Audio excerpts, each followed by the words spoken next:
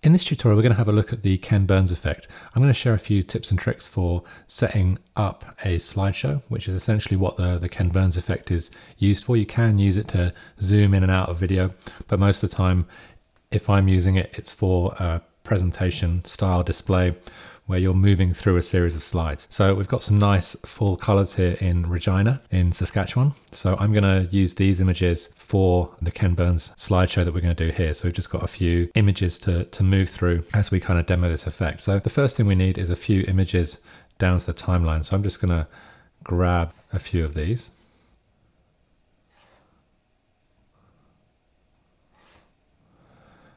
Okay, so we've got a few images down on the timeline now. At the moment, each of these images is just one second long. So that's my first tip for working with the Ken Burns effect is that when we have a series of images, if we drag across all of our slides and hold down control and tap D on the keyboard, it allows us in the center here to set the duration. So what we've got here is hours, minutes, seconds, and frames. So if we want each slide to be, for instance, five seconds, we can type in five and then a period, and it will make it five seconds long. So because I've got all of these selected, when I hit enter, it's going to change the duration of each of those to five seconds. So let's just do another shortcut. So if I hold down shift and tap Z, it's going to zoom me to the timeline. So it's going to make all the clips on the timeline fill that space.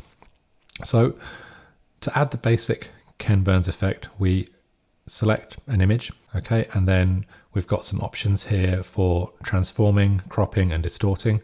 Um, I just flipped a crop a second ago, so that's why mine was up here now. And then once we've selected the crop tool, this is where we access the Ken Burns tool. We've got options for trimming, for cropping, and for adding the Ken Burns effect. So if I click here, you can see we get this red rectangle and this green rectangle around we get this red rectangle and this green rectangle. So essentially the green rectangle is the start of where the animation is going to be.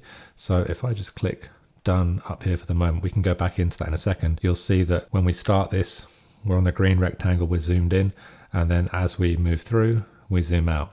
So essentially that red rectangle and that green rectangle allow us to frame the shot. The Ken Burns effect will run for the entire duration of the clip. So if we want to slow down this effect, then we can simply drag it out and that will slow down the effect. So let's have a look at some of the other changes we can make here. So I'm just going to highlight this clip and change it back to five seconds, so it's the same duration as the other clips. So once we've got this selected, if we click back on the crop tool, we'll jump back into the selected crop. So here, if we go from the top here, we can reverse the effect. So essentially, we're flipping the green start to the outside. So instead of zooming out, we're going to be zooming in.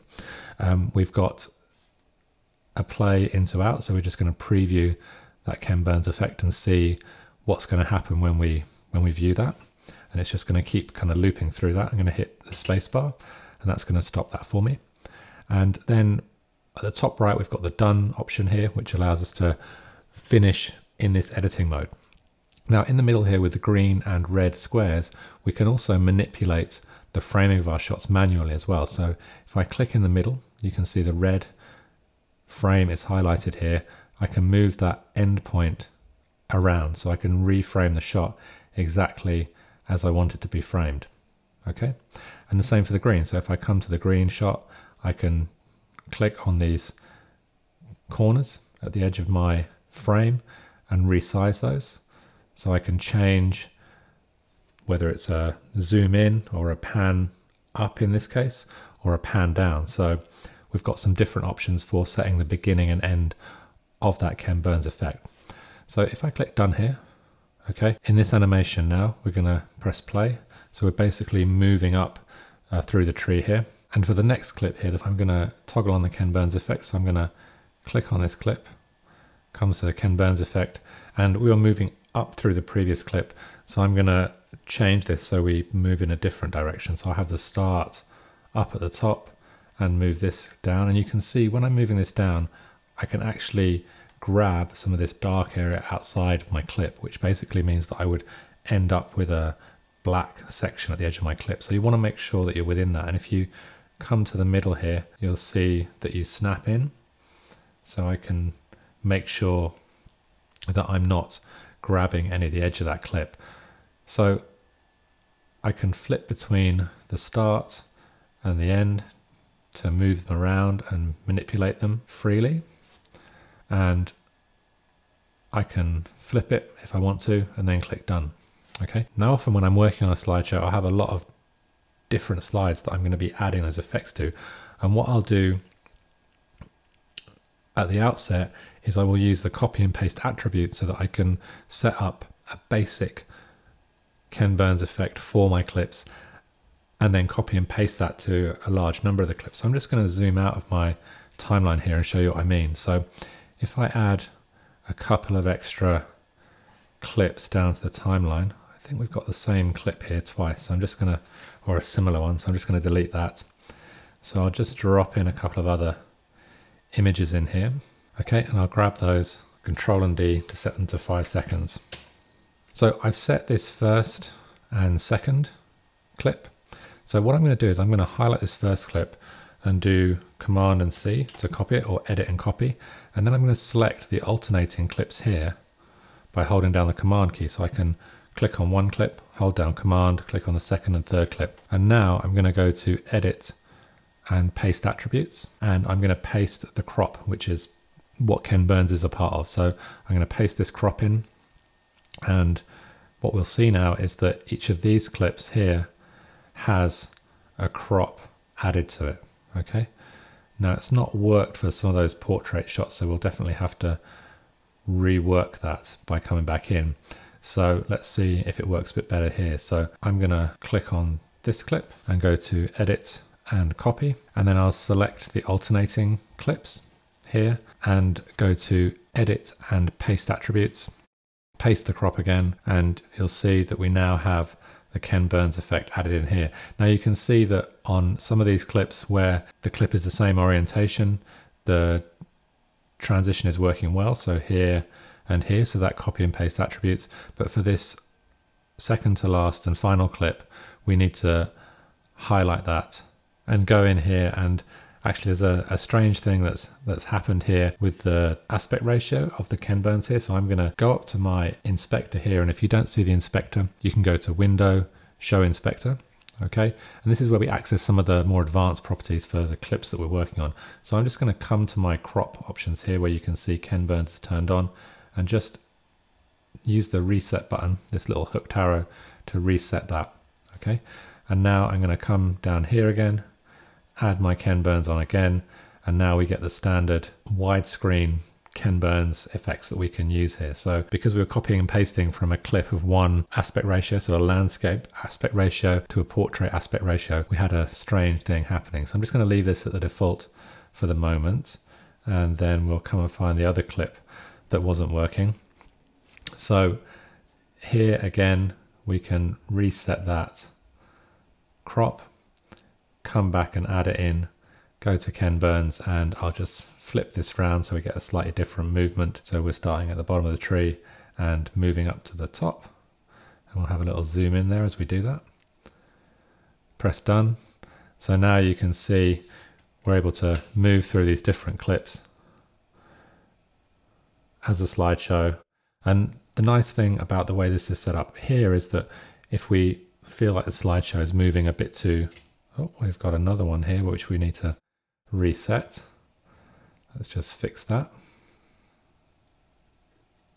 So I'm just taking it off and adding it again, pressing done, and then we'll move through it. So as I was saying, if we want to speed this up, we can grab all of these clips, hold down control and tap D, and then we could type in three period or full stop and then hit enter and that will speed up that animation. So now you can see those Ken Burns transitions, the beginning and the end have stayed the same, but actually now we're moving through this slideshow a little more quickly.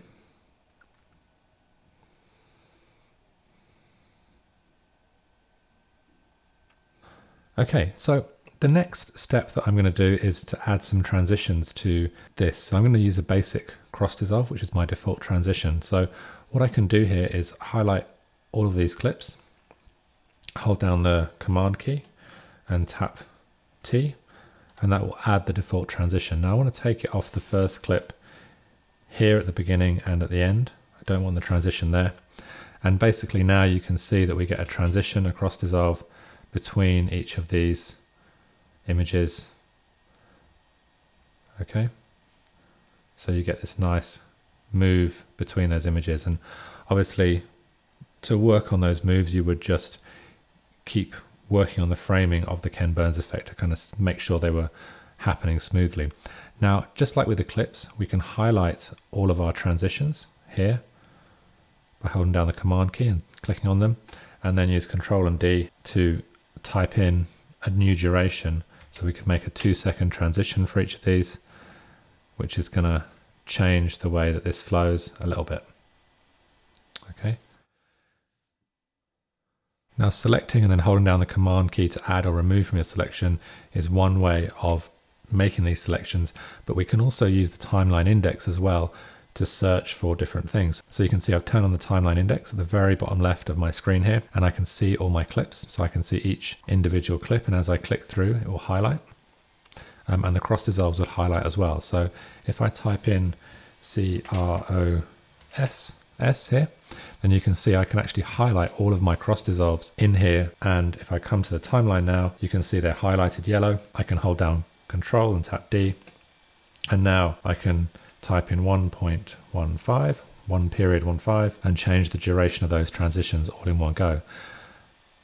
And I can do the same for the, the clips as well. So if I remove this search, okay, now with the clips it's slightly different because it really depends on the, the naming of those clips, but each of my clips is taken in on the same day, so 2016 09 27. So if I type in 2016, then I can click on my first clip, hold down shift and click on my last clip.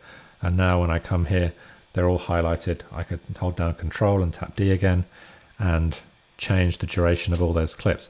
Now, this may not seem super useful with only five or six clips on the timeline as we have here, but if you have 50 or 100 clips, as you can do in some of these uh, bigger presentation slideshows, then it becomes really incredibly useful to be able to use that timeline index to make those changes. So to recap briefly, I'm just going to close the timeline index here. Okay, so essentially here we are highlighting a clip, we are adding in that Ken Burns transition, so the beginning and end, we can flip those around, we can change the framing of those, so we can frame things out of shot or into shot, and then we can change the speed of the clips on the timeline by changing the duration of those clips.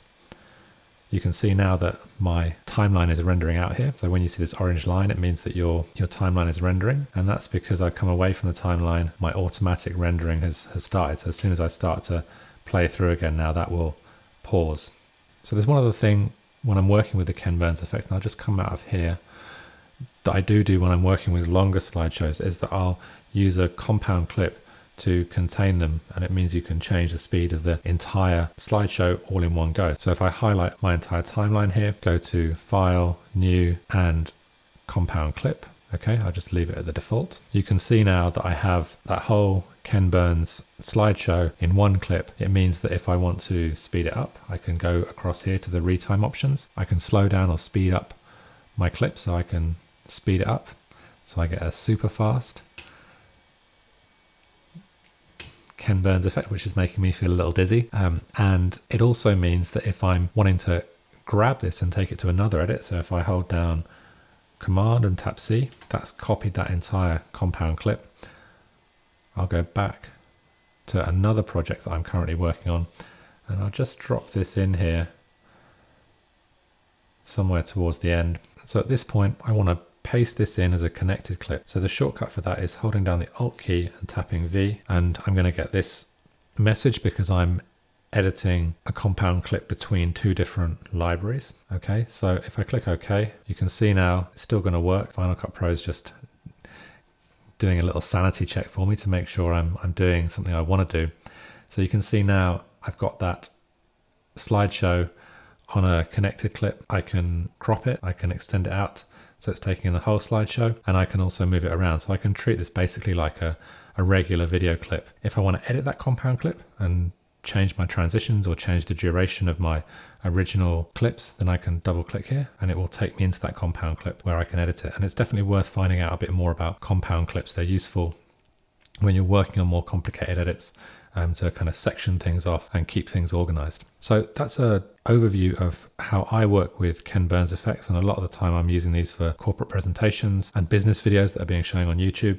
A lot of people have some great photography. They don't always have video content to, to kind of broadcast. So you often end up with some some great quality images that the Ken Burns effect just allows you to bring to life a little bit and also very quickly and efficiently for these types of slideshows. So I hope that's been useful and I look forward to seeing you on the next tutorial.